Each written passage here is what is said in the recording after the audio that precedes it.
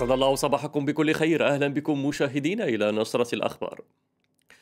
ترأس جلالة الملك محمد السادس مساء أمس بالقصر الملكي بالرباط جلسة عمل خصصت لتطوير الطاقة المتجددة والآفاق الجديدة في هذا المجال. وتندرج جلسة العمل هذه في إطار التتبع المنتظم لصاحب الجلالة للأهداف الاستراتيجية التي حددتها المملكة في مجال تطوير الطاقة المتجددة على نطاق واسع.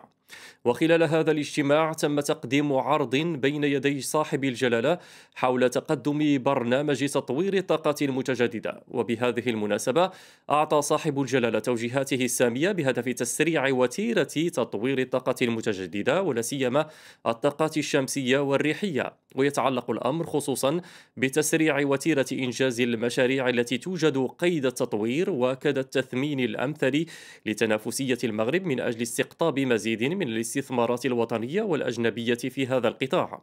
وفي هذا الصدد أمر جلالة الملك بتسريع وتيرة إنجاز المشاريع الثلاثة للطاقة الشمسية نور ميدلت كما أعطى جلالة الملك تعليماته ببلورة عرض المغرب عملي وتحفيزي في أقرب الأجال يشمل مجموعة سلسلة القيمة لقطاع الهيدروجين الأخضر بالمغرب. وحضر جلسة العمل مستشار صاحب الجلالة سيد فؤاد علي الهمة ووزير الداخلية السيد عبد الوافي الفتيت ووزيرة الاقتصاد والمالية السيدة نادية فتاح ووزيرة الانتقال الطاقي والتنمية المستدامة السيدة ليلى بن علي والمدير العام للمكتب الوطني للكهرباء والماء الصالح للشرب السيد عبد الرحيم الحفيظي. في موضوع آخر أشادت وزيرة خارجية ليبيا نجلة المنقوش أمس بفاس بالدور الإيجابي للمغرب في دعم عملية الاستقرار في بلادها. جاء ذلك عقب مباحثة أجرتها السيدة المنقوش مع وزير شؤون الخارجية السيد ناصر بوريطة على هامش أشغال المنتدى العالمي التاسع لتحالف الحضارات للأمم المتحدة المنعقد بفاس. المزيد من التفاصيل في التقرير التالي. عقب مباحثات أجرتها مع وزير الشؤون الخارجية والتعاون الإفريقي والمغاربة المقيمين بالخارج السيد ناصر بوريطة وعلى هامش أشغال المنتدى العالمي التاسع لتحالف الحضارات للأمم المتحدة أشادت وزيرة خارجية ليبيا السيدة نجلاء المنقوش بالدور الإيجابي للمغرب في دعم عملية الاستقرار في بلادها. دائما آه، المملكة المغربية كان لها آه، دور آه، إيجابي في دعم عملية الاستقرار في ليبيا ودعم جهود حكومة الوحدة الوطنية ودعم المؤسسات الليبية. للمضي قدما استقرار ليبيا من استقرار المنطقة ولن نستقر بدون دعم جهود أخواننا وشقائنا.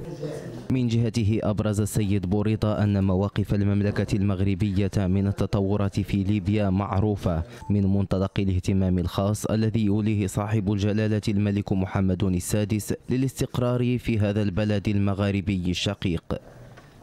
مواقف المملكة المغربية هي معروفة من آه، التطورات في ليبيا من منطلق الاهتمام الخاص الذي يوليه جلالة الملك محمد السادس إلى الاستقرار في هذا البلد المغاربي الشقيق.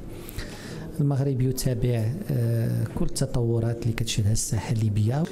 وشكلت هذه المباحثات مناسبة لتجديد التأكيد على هذه المواقف وكذا لتنسيق فيما بين البلدين حول كل القضايا ذات الاهتمام المشترك سواء داخل جامعة الدول العربية أو الاتحاد الإفريقي أو الاتحاد من أجل المتوسط.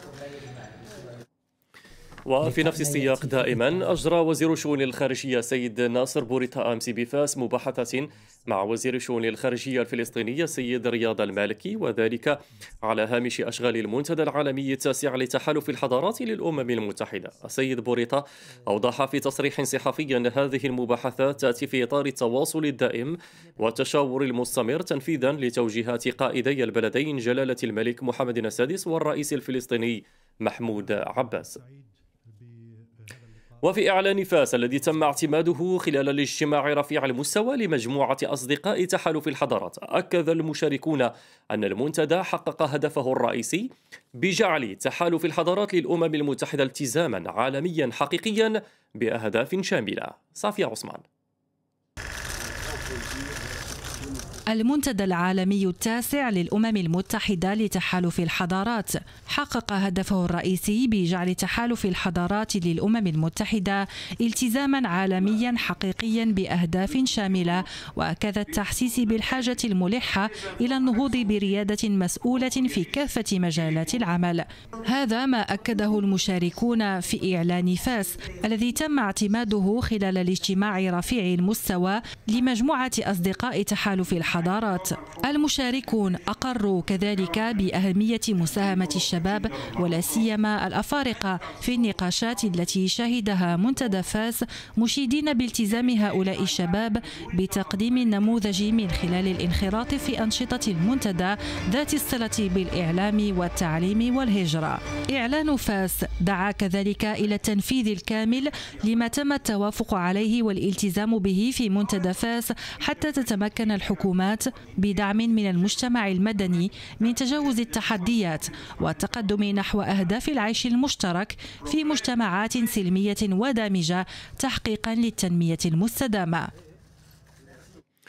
في سياق منفصل أجرت المديرة العامة لمكتب التكوين المهني وإنعاش الشغل لبنى طريشة مباحثات بالدار البيضاء مع وزير التعليم التقني والتكوين المهني الغيني ألفا بكار باري. عودة مع صافية عثمان.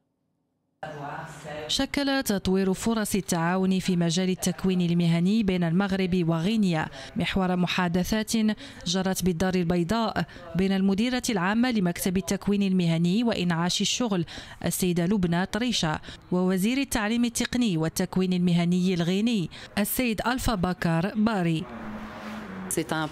دعم المغرب لغينيا في مجال التكوين. سيهم تطوير بنيات وآليات للتكوين المستمر للاستجابة للاحتياجات المتزايدة المعبر عنها من قبل المقاولات الغينية. هذا التعاون سيشمل أيضا البحث المشترك في إطار التعاون الثلاثي عن مصادر جديدة للتمويل من لدن مانحين عالميين من أجل إنجاز مشاريع التعاون. خلال هذا اللقاء أعرب الجانبان عن التزامهما بتطوير شراكة ثنائية من خلال برامج متبادلة مع تأكيدهما على أهمية تبادل الخبرات بين البلدين اللذين تجمعهما شراكة منذ فترة طويلة.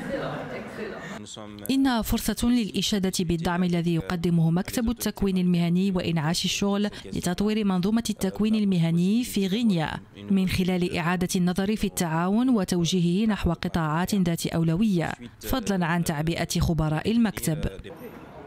على هامش هذا اللقاء قام الوفد الغيني بزيارة لمركز التكوين في مهن الفندقة والسياحة العنق بالدار البيضاء. بهدف الاطلاع عن قرب على مختلف الفضاءات البيداغوجية للمؤسسة. دوليا دعا الأمين العام للأمم المتحدة أنطونيو غوتيريش جميع الأطراف المعنية في انفجار إسطنبول إلى ضبط النفس وتجنب تصعيد التوترات الإقليمية وفقا لفرحان حق نائب المتحدث باسم الأمين العام للأمم المتحدة. خديجة شاكري في المتابعة.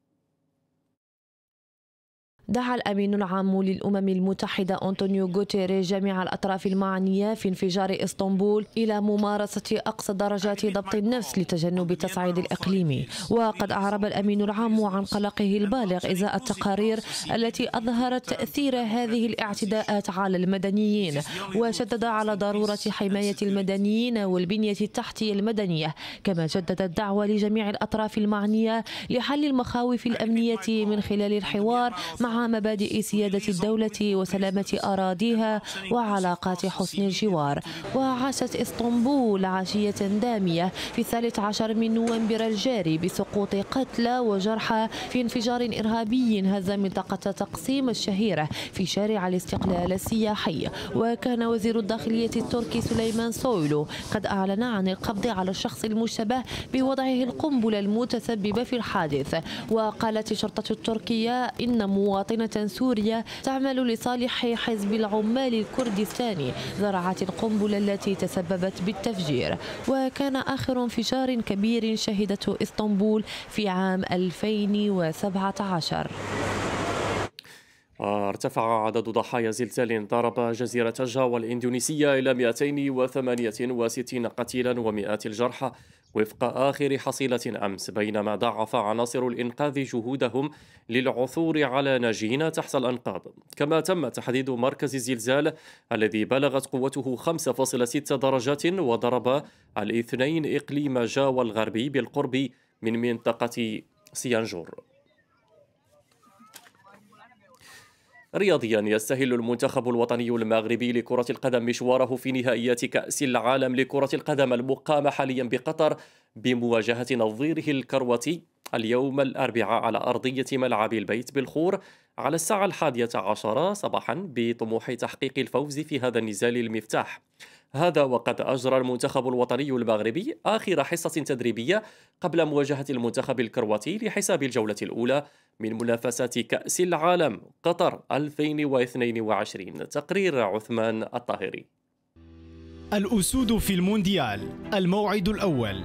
بل هو الظهور المنتظر لمن يعشق المنتخب الوطني المغربي لكرة القدم. الطريق في البطولة العالمية في قطر ينطلق بمواجهة منتخب كرواتيا. كتيبة المدرب وليد الرجراجي تعلم بأن الموعد ليس سهلا. ضد أصدقاء لوكا مودريتش لكن المستحيل لم يكن يوما مغربيا. المنتخب الوطني المغربي لكرة القدم أنهى الاستعداد قصد مواجهة الكروات. أبناء الرجراجي وقعوا على آخر حصة تدريبية قبل مواجهة المنتخب الكرواتي لحساب الجولة الأولى من المجموعة السادسة من منافسات كأس العالم قطر 2022 حصة عرفت مشاركة جميع عناصر النخبة الوطنية في جو يطبعه الانسجام ولم تخلو الحصة من قفشات اللاعبين والطاقم التقني كما أن هذه الحصة حظيت بمواكبة إعلامية كبيرة وبحضور قوي للجماهير المغربية الذي زين المكان.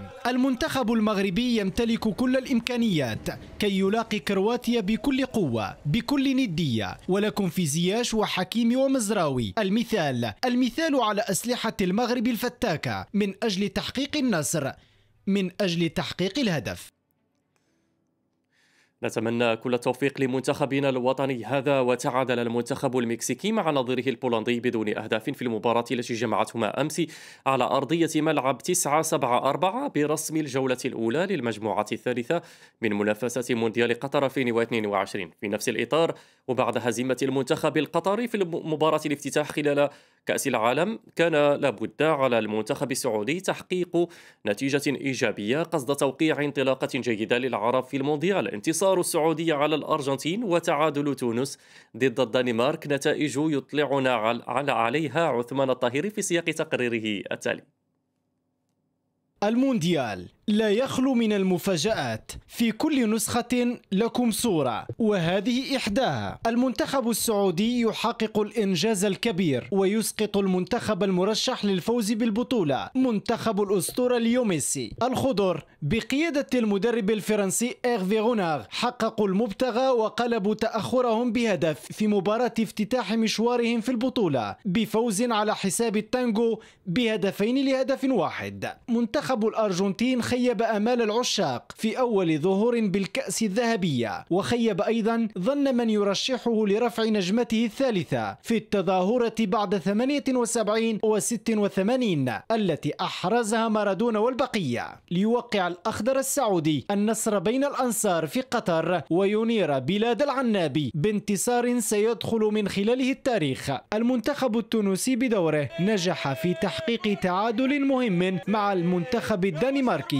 في أول ظهور لنسور قرطاج في البطولة العالمية وسجل له نقطة على جدول المجموعة الرابعة التي تعرف أيضا حضور كل من فرنسا وأستراليا. نهاية هذه النشرة مشاهدينا تفاصيل وفعنا أخبار المغرب والعالم. تجدونها على موقعنا الإلكتروني m24tv تحية لكم. إلى اللقاء.